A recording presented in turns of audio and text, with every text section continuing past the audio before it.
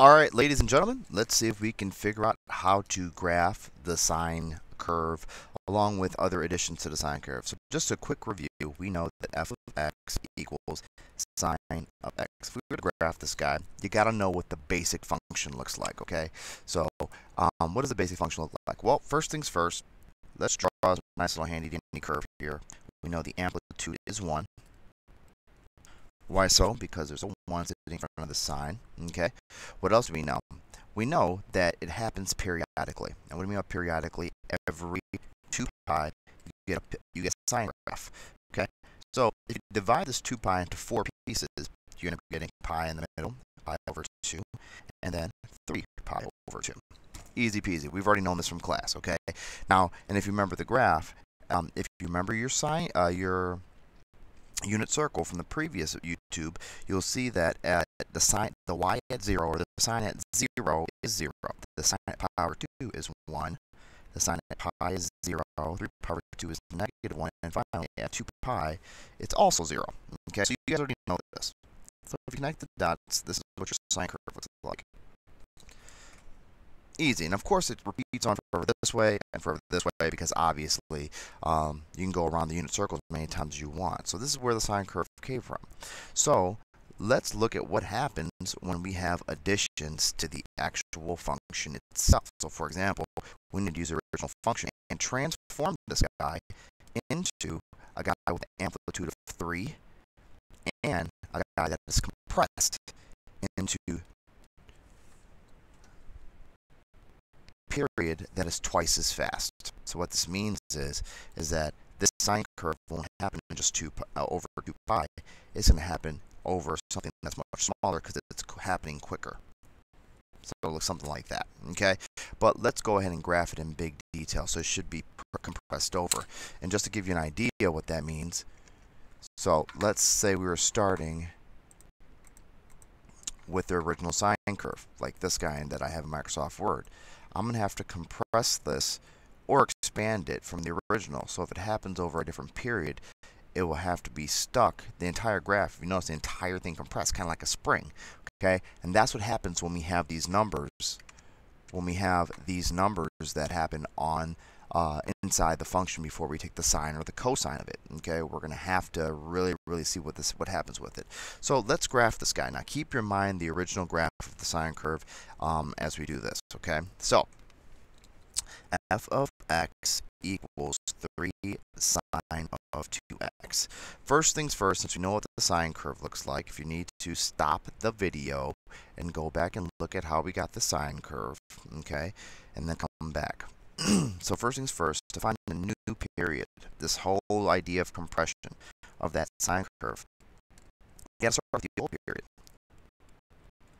And this is what we do. We're to divide the old period by a number. And the number we're to divide by is this number. Okay? So we end up dividing by 2. Okay? Now, the question is, is now, what is the old period? Well, you got to know your sine chart, and if you remember the sine curve, it happens over 2 pi. So this is the old period. Divide that by 2, and we end up getting that it's going to happen over pi. So that means this new sine curve won't happen over a 2 pi length, but just a pi length. Okay? Now, moving on. The amplitude. And if you, what do we know? What is the amplitude again? The amplitude is this guy right here, this 3. Okay, so we know that the amplitude is 3, meaning that the highest part on the curve won't be 1 anymore. It'll be 3. So we know that the amp is 3. Okay, and then finally, um, there's this idea of those points. Remember those points I just shelled out? It was 0, pi over 2, pi, 3 pi over 2, and finally 2 pi. Those are four points that happen uniformly throughout the curve. But if it compresses, if it compresses, once again, if what I mean by compresses, this is pi, uh, pi over 2, pi, 3 pi over 2, and 2 pi. Well, if this compresses uniformly and has to be over pi, where's pi at? Pi is right here, so I have to push this whole sine curve into this pi. Notice the high point, which was normally which was normally occurring at pi over 2, it can't occur pi over 2 anymore. It had to move. See? It had to move. Same thing down here. This guy over here, that was occurring at 3 pi over 2, that negative 1, he has to move too.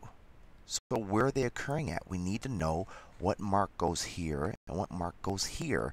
And, and once we figure those out, we'll be good to go. Well, how do we do it? Well, we look at what's called the sub intervals. And this will help us map it out, okay? And all the sub interval is, is you're going to take the new period, and since there are four big spots, you're going to divide it by four, okay? So here, that means the new period we just calculated is pi. So this is just going to be pi over 4.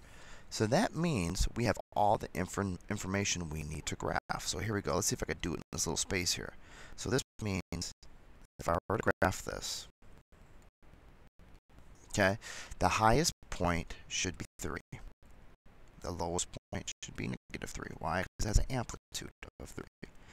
And then the, the whole period of this crash happened over pi. But good news, there are these four hatch marks we just talked about, right? One, two, three, four, and each unit interval should be pi over 4. Pi over 4, pi over 4, and pi over 4. So check this out. This will be pi over 4.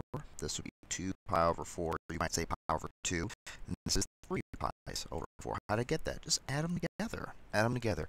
Okay, and then your graph ends up looking like this beautiful blob. So it's going to be at 0, it's here. In the moment, notice the sine curve goes high next, then middle, then low, and then back to the middle. So now connect the dots.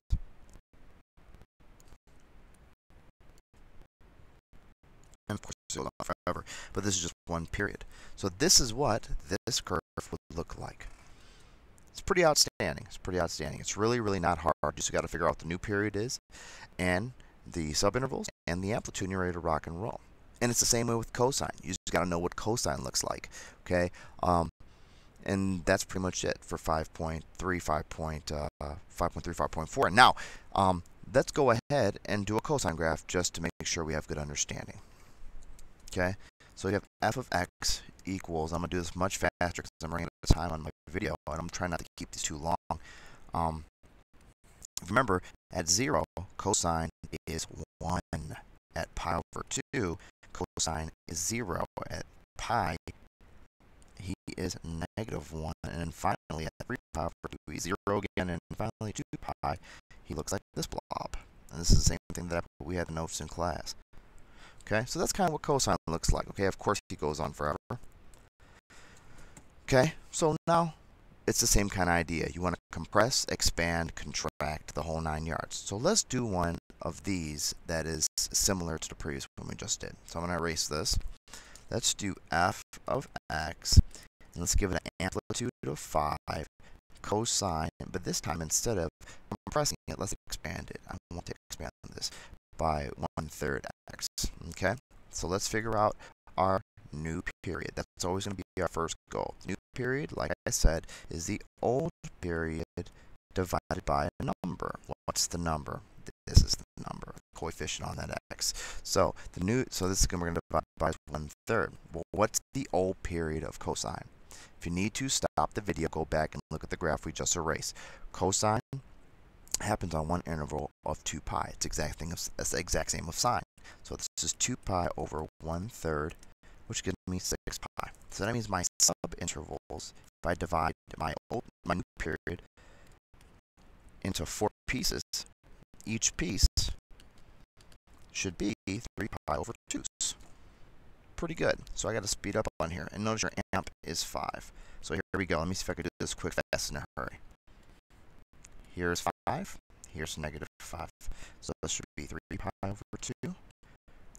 6 pi over 2, or just regular old 3 pi, 9 pi over 2, and finally 12 pi over 2. Notice 12 pi over 2 is just 6 pi, which should be, okay? And it starts high, goes low, goes to 1, comes back up, and goes out. Pretty simple. Alright guys, the next video would actually let you guys know how to shift, reflect, and rotate these guys. Alright, see you on the next slide.